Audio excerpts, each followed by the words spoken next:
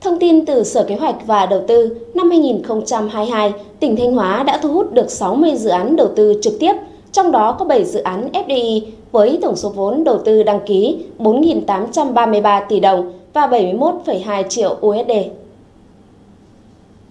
Trong năm, tỉnh Thanh Hóa điều chỉnh tăng vốn đầu tư cho 7 dự án với số vốn tăng 32,7 triệu USD. Các dự án đầu tư mới tập trung chủ yếu vào lĩnh vực công nghiệp, tiếp đến là lĩnh vực văn hóa, xã hội và du lịch. Từ đầu năm đến nay, tỉnh Thanh Hóa triển khai mạnh mẽ các hoạt động xúc tiến đầu tư, tổ chức đón tiếp, làm việc, cung cấp thông tin về quy hoạch, lĩnh vực thu hút đầu tư, cơ chế chính sách tới nhiều tổ chức, đoàn doanh nghiệp trong và ngoài nước,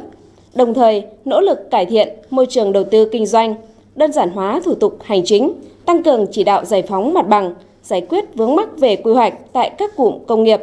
làm việc với các nhà đầu tư để giải quyết khó khăn cho các dự án tại khu kinh tế Nghi Sơn và một số dự án trọng điểm, tạo thuận lợi cho công tác triển khai dự án và tạo lực hút đầu tư.